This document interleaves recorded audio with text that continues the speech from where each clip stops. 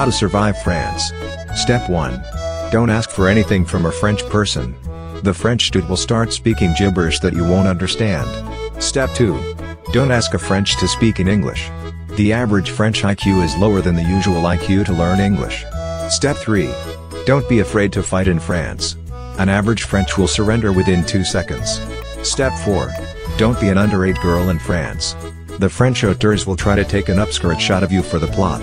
Step 5. Eat cheese every day like a rat. Oh sorry, I meant a French person. Step 6. If you're gay and can't find something to put up your ass, there's always the baguette. Step 7. Don't ask who is in Paris. Thanks for watching. In the next video, I will tell you how to survive America.